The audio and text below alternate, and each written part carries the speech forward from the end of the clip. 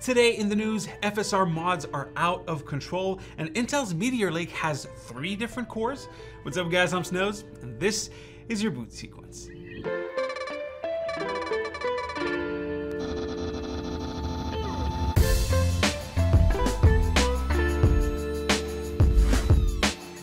Let's get started with AMD.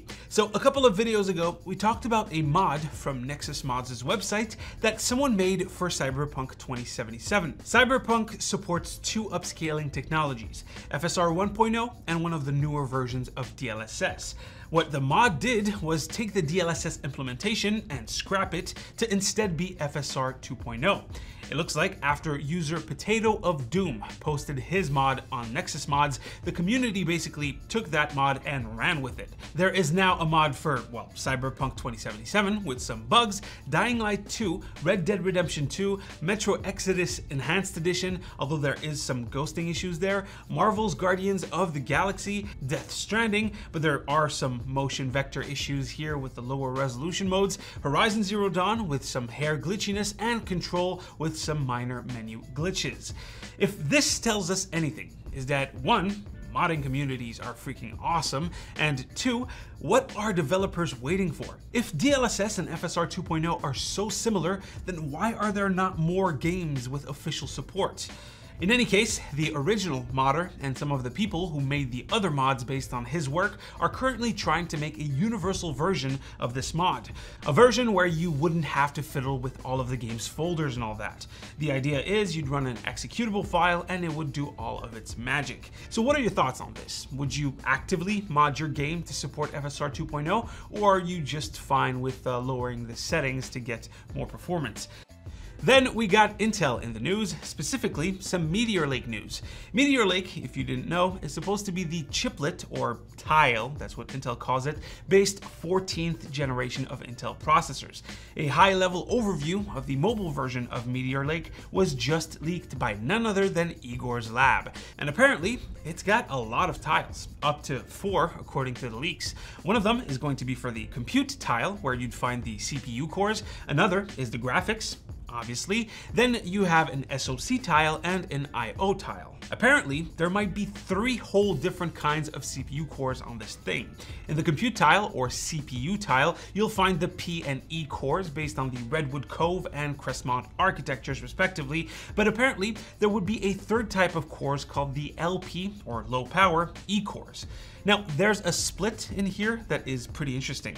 According to Igor, the E-cores are simply divided into E-cores and LP E-cores.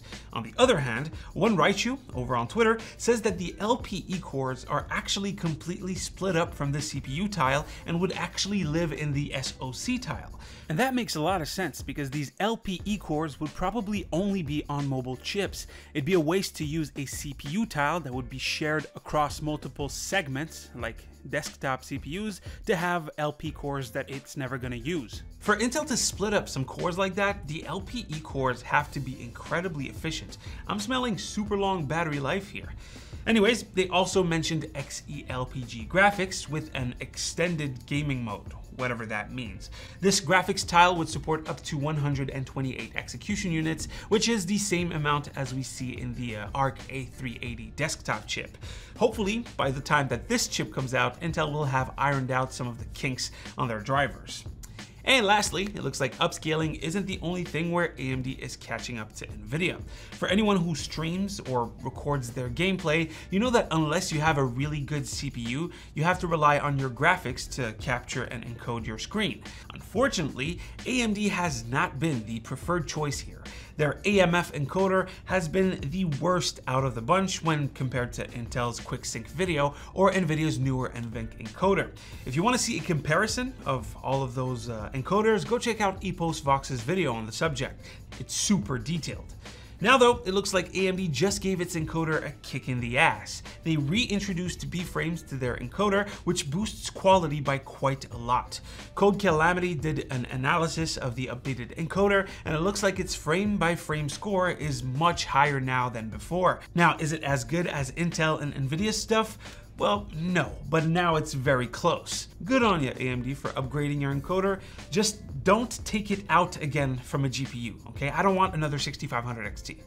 Anyways, guys, that is pretty much it for today's video. Hopefully you've enjoyed it. Drop a like if you liked it, a comment if you want to talk about today's stories. As usual, it's right here to see the latest video, right here to subscribe to the channel. Stay frosty, my dudes, and I'll see you guys on the next one. Take care. You keep on falling, keep on falling. Always stalling, always stalling. No one's riding, but I've been riding.